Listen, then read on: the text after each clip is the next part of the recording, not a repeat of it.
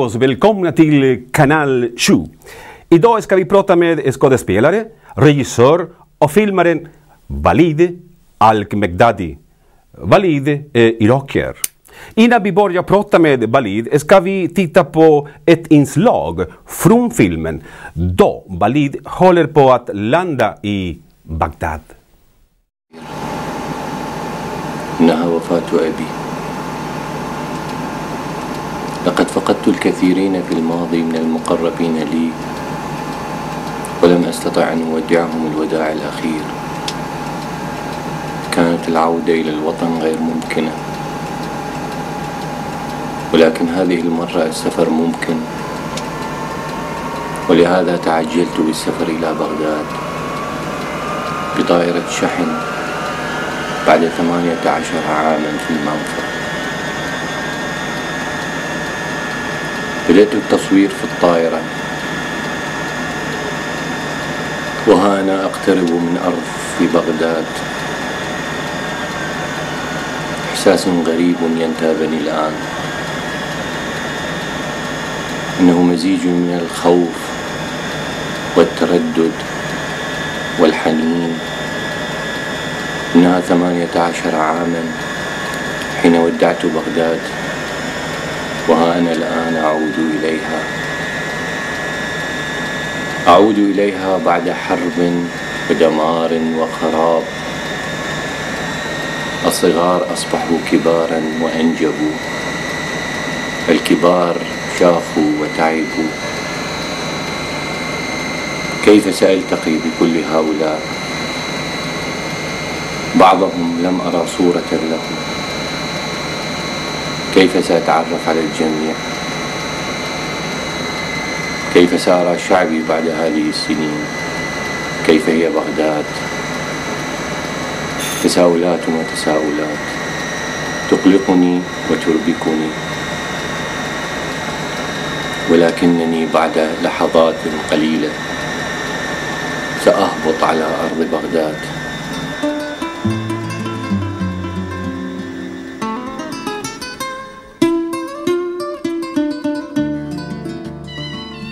Välkommen eh, Walid Al-Mekdadi. Ja, Viktor. Korrekt. Mm.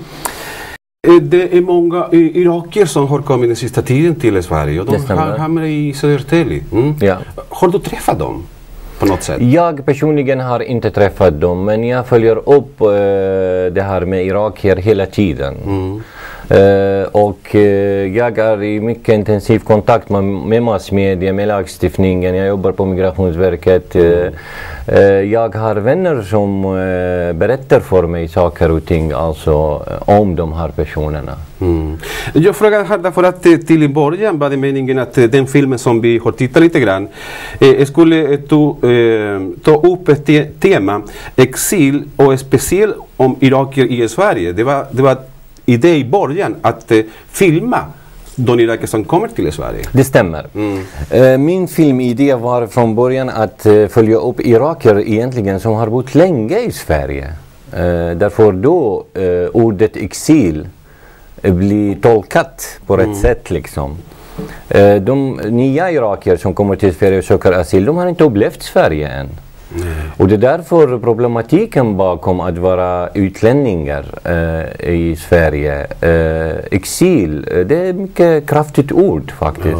Att lämna allt, hemlandet, rötterna, eh, din historia och sen kommer du till ett nytt land för att starta om från början. Från början. Mm. Språket och eh, så de här irakierna efter eh, regimens fall i Irak försökte jag ge en bild därför alla pratar om irakier i Irak. Mm. Irakier i exil också har betalat stort pris. Självklart. Mm. Eh, Vi har lämnat landet, vi har förlorat mycket. Men exil kan vara också eh, positiva saker. Man lär sig nya saker, man eh, upptäcker världen på ett annat sätt. Jag började min film eh, där. Alltså. Där. Irakier som har bott länge, har de fått jobb? Har de bra, ett bra liv?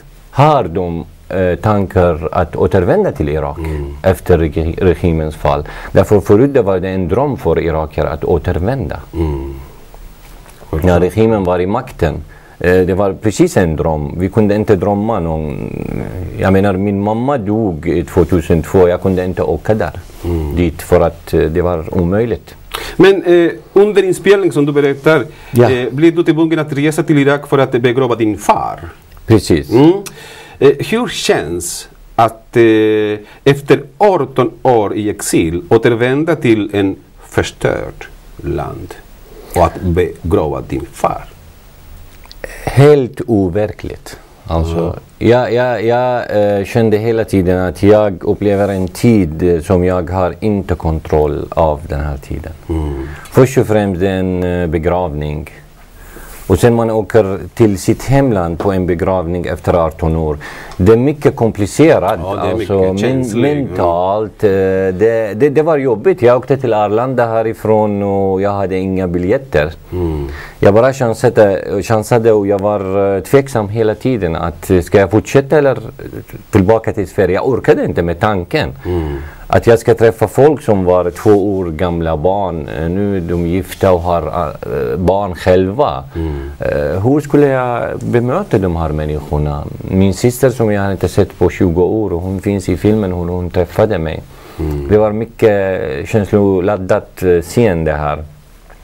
Så det var, det var helt overkligt. Jag kan inte förklara hur det kändes. Det var mycket svårt alltså. Vi fortsätter att eh, att prata om det här ämnet. Men eh, där du bestämde för att fortsätta med filmen som heter Homeland, filmen som vi har sett. Och eh, berätta lite grann om själva filmen, hur det blev. Ändrade du idé eller, eller berätta lite grann om Ja precis, jag har träffat eh, folk som har bra kännedom om Irak eh, historia som Sikrit Kahle. Hon är författare och journalist som har bott i Irak faktiskt under 60-talet. Eh, och de, eh, filmen rullade liksom. Jag gör intervjuer med irakier här i Sverige och eh, allt är okej tills jag fick den här informationen i augusti 2004 att min pappa dog och, och han dog i Dubai. Då min syster och min bror skulle ta honom till Bagdad för att begrava honom. Och jag försökte hinna.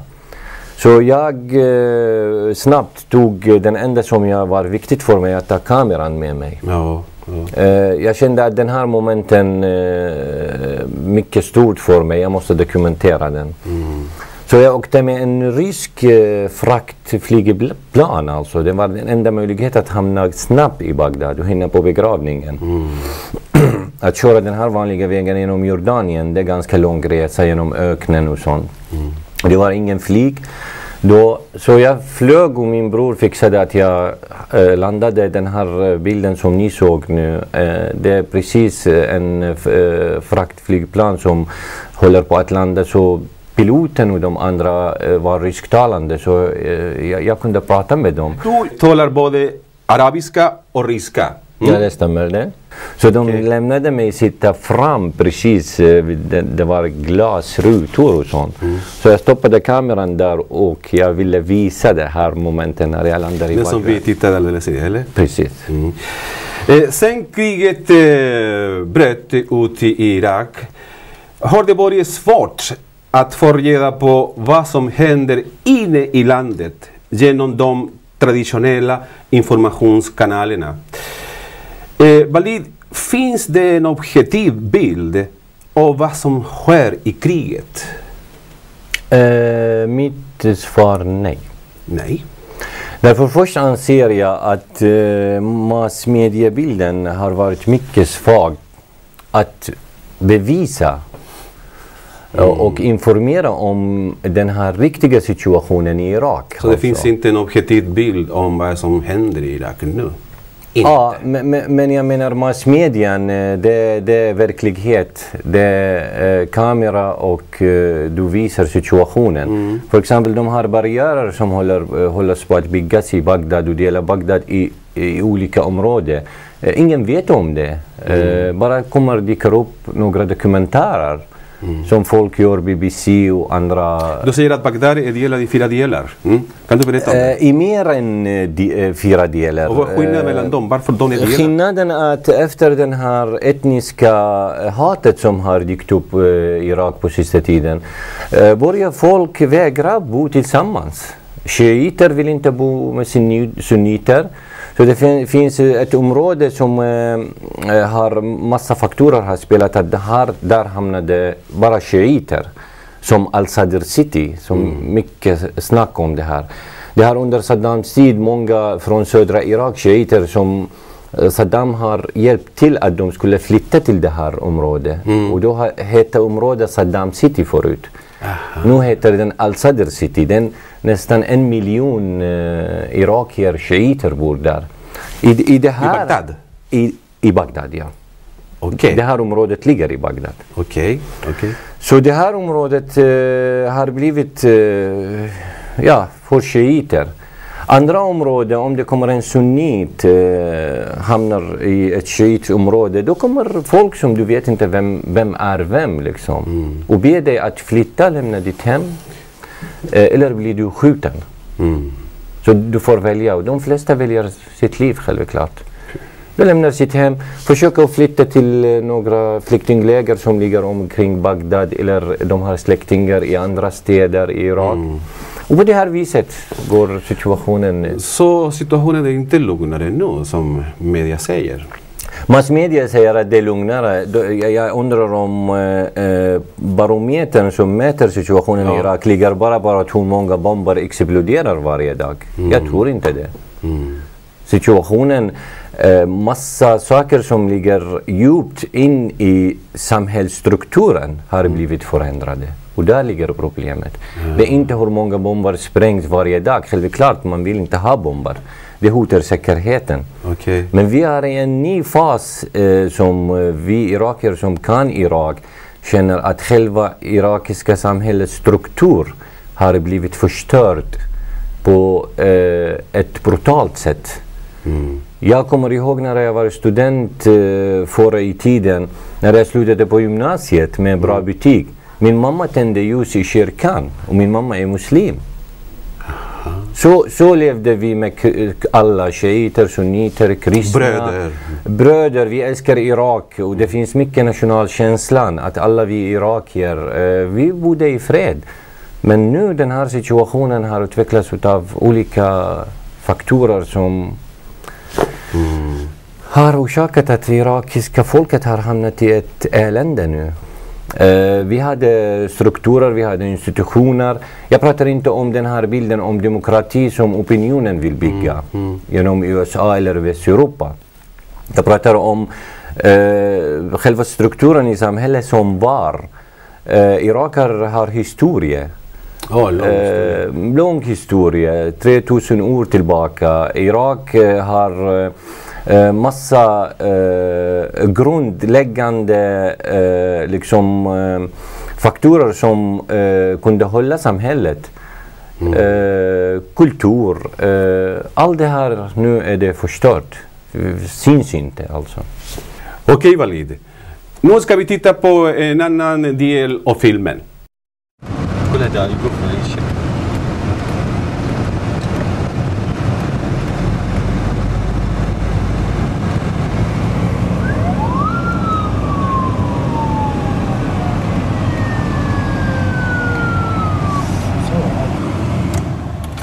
شو نسوي انزل؟ لا تنزل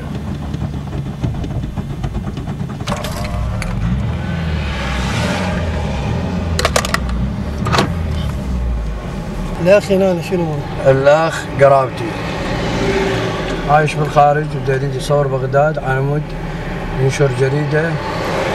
هذه مخرج فيلم وثائقي صار لي 18 سنة وجاي للعراق. عن العراق.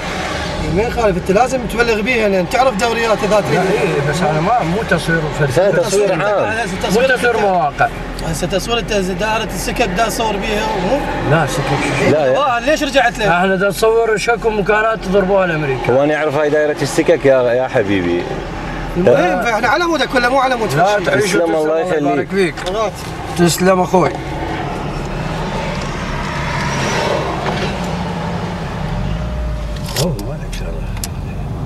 مستمر اني اصور كل صورت هذا eh, Valid, berätta om de senaste årens svårigheter med krig och ekonomiska sanktioner.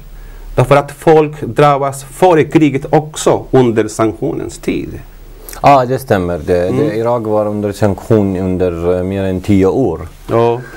Under den där perioden, jag kommer ihåg, uh, uh, det var mycket svårt och uh, löjligt situation för irakierna att folk pensionärer bodde på 600 dinarer per månad. Hur mycket och, blir det? Ja, jag vet inte jämfört med andra valutor. Det är mycket lite pengar. Det handlar om hur mycket? 40-60 kronor, mm. någonting sånt. Och sen ett block ägg kostade 800. Så, så ransonering tid och sen kom kriget. Ja. Det, är många år som så, vanliga folk drabbas dag efter dag. De var redan slitna. Mm. Därför sanktionen har uh, knäckt i samhället, alltså på alla möjliga områden. Och det var en svår period alltså. Sen mm. kom kriget efter det. Och fortfarande eh, folk handlar med ra rationeringskort, eller? No? Ja. ja, det är det. Så det är inga förändringar när det gäller Nej. den vanliga liv? Nej, jag hör att det inte heller förändringar efter uh, tre år. Uh, mm. Amerikanerna har kommit till Irak och de andra trupper att eh, elektricitet och vatten som är vanliga behov i samhället, de mm. funkar inte fortfarande. Eh, så man undrar eh, vad är det som är mm, positivt mm. i hela det här. Eh, barnen, hur, hur är barnens situation under den där perioden, sanktionen och nu under krig? Vad kommer att hända den kommande generationen? Eller vad händer med barnen? Ja, barn, ba, barn är en, en stor fråga uh, i Irak. Eh, mm. Därför de här barnen har fötts och växt upp utan att se något positivt i livet. Och tänk, tänk du att du växer upp från början och höra bomber, eh, mm. död, blod och du ser allt det här och sen ska du växa upp. Det här, det här är mentala biten. Uff. Sen kommer den andra biten, sjukdomar och mediciner. Mm. Alltså jag har hört att det finns uh, små barn som blir opererade utan bedövning. Oj, oj, oj. oj, oj. Och det, det, här bara räcker att visa hur irakiska barn drabbas nu för tiden. Mm. Alltså. Malid, en rapport eh, visar att USA armé eh, fängslat sammanlagt 2400 irakiska barn. Några så unga som 10 år sen kriget inleddes i mars 2003. Det är, mm. det är en eh, hemska siffra. Jag har hört det här händelsen mm. och det, jag tror det är i Basra i södra Irak. Eh, kan du prata, eh, Valido, eh, om, om eh, de, de lagar som, som finns i Irak som, som diskriminerar kvinnor? Eh, är enligt lagar kvinnor andra klass människor eller inte? Eller vad hände med kvinnor? Därför att eh, när eh, kriget slutade, mellan citationstecken, eh, eh USA lovade att eh, kvinnor skulle få tillbaka eller få vissa rättigheter som mm. aldrig hade haft. Vad tycker du om det här? Eh, den här biten har två delar. Om vi pratar om kvinnors situation innan den här innan. sanktionen och kriget har kommit. Irakiska kvinnor har inte fått sina rättigheter som man kallar det enligt vår opinion i väst. De har aldrig nått halva vägen. Mm. Men irakiska kvinnor hade mer frihet förut. Mm. Därför ekonomiska situationen var normalt. De jobbade, mm. utbildade sig och det har mycket viktiga uh, utvecklingsfaktorer i deras liv. Att utbilda sig, gå normalt till skolan, sen fortsätta, sen börja jobba. Och det här irakiska kvinnan har fått det. Har du haft möjligheten? Ja visst. Okay. Ja, visst. Och irakiska kvinnan hade massa eh, eh, fackarbete och, och eh, de kämpade för sina rättigheter. Grundlagen var inte så gynnsam för irakiska kvinnor. Men de själva kunde göra någonting. Mm. Men om man jämför irakiska kvinnor under 60 och 70-talet med perioden nu. Mm. Eh, det, det, det, finns ingenting att jämföra. Mm. Därför eh, det sägs äh, alltid att äh, demokratin kan funka på en i mycket välutvecklat äh, ekonomiskt samhälle. Mm. Så irakiska kvinnor nu håller på att försöka få mat till sina barn. Man ska inte tänka på demokrati när man inte har bröd för sina barn, mm. eller hur? Och jag har hört irakiska kvinnor i Basra har blivit dödade på ett brutalt sätt nu på grund av att slöjan satt inte på rätt sätt. Eh, eller eh, de gick ut med olämpliga kläder enligt normerna i, mm. i södra Irak, i Basra. Och det här är brutalt faktiskt. Mm. Du som irakier som känner Irak, som har varit i Bagdad. Eh, vad kan du säga om framtiden? Finns någon hopp eller finns jag måste, möjlighet? Eller? Jag måste ha hopp. Mm. Vi, kan, vi, vi, vi kan inte se uh, allt svart. Det mm. måste finnas hopp. Uh, hela den här Europan eh, för andra, innan första och andra världskriget var lika komplicerade situationen i Västeuropa när det gäller religion, mm. när det gäller uh, kvinnorättigheter. Vilken period pratar du om? Uh, hela, hela perioden. Mm. Uh, kvinnan i Sverige har fått uh, möjlighet till val under 30-talet. Ah, okay. Så jag menar, Irak håller på att passera mycket svår period. Mm. Och vi måste se hopp. Det, det ligger i människans natur. Vi kan inte bara säga att Irak är förstört. Mycket förstört i Irak. Mm. Tror du att presidentvalet i USA kommer att påverka? Det kan påverka opinionen, mm. ja. Uh, om Obama vinner, uh, det, uh, hans signaler redan är mycket skonsamma och positiva. Mm. För att vi skulle minska det här hatet som har utvecklats under Bush tid. Alltså. Mm. Det här är mycket viktigt att Obama är en person som har massa olika bakgrund. Mm. Uh, när det gäller mamma och pappa, när det gäller hans uppväxt, uh, hans kunskap. Så jag hoppas att han kan uh, skicka positiva signaler till hela världen att vi skulle stabilisera lite mm. och sluta med det här hatet mm. och med terrorismen och med bomber. Och vi, behöver fred, lite, fred. vi behöver lite lugnare värld mm, alltså.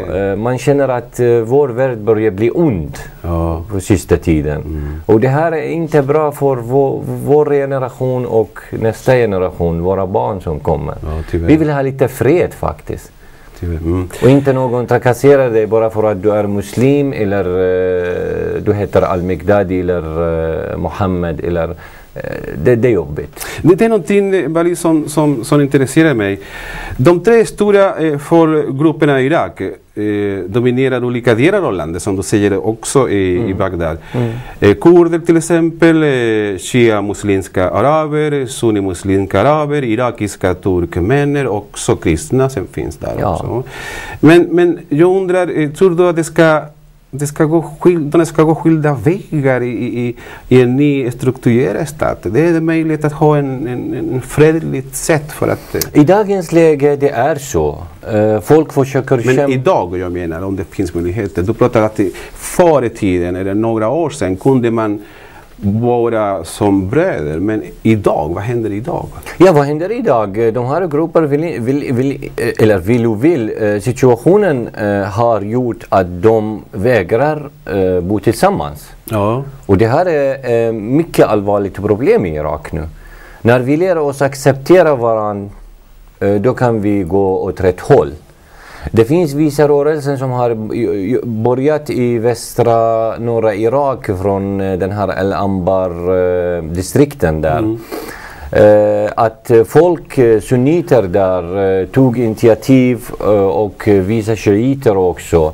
Att nu ska de enas faktiskt och nu ska de bygga upp Irak. Och det börjar bli lite jobb åt det här hållet.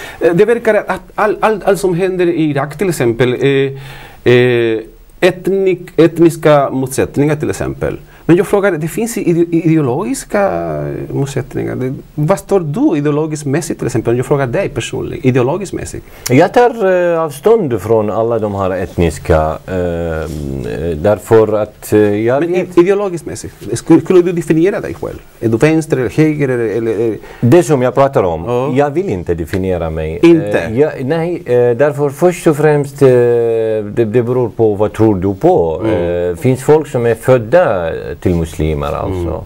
Mm. Men man lever sitt liv på ett annat sätt liksom. Mm. Men nu pratar jag ideologi och politik.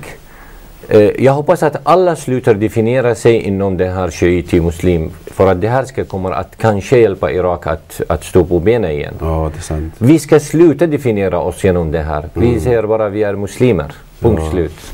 Tack så mycket Walid för att du kom hit. Kan Tack du säga några ord för att sluta eller om jag har glömt någonting kan du säga? Till exempel din eh, film kommer att visas, visades eller på vilka... Eh... Min film har visats på olika festivaler, eh, på Zita biografen i Stockholm. Mm. Och eh, eh, jag vet inte, jag håller på att eh, marknadsföra den. sälja, sälja! Ja, kanal 7 kanske. Vad är din nästa projekt? Eh, jag har en, eh, skrivit en eh, lång eh, novell eh, som kan vara grund till en lång eh, spelfilm. Okej. Okay. Och jag okay. har gjort den klar förra veckan. Okej, okay. så vi, vi får så titta på den. Jag hoppas att jag publicerar den som en bok och kanske blir en film av den. Okej. Okay. nästa projekt. Lycka till Walid. Tack Viktor. Och tack för att ni tittar på det här programmet och fortsätt att titta på kanal 20. Ciao amigos.